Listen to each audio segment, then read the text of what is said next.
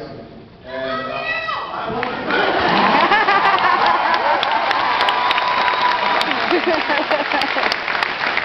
There are just a few, uh, few thank yous that I'd like to, to make if you'll bear my. mind.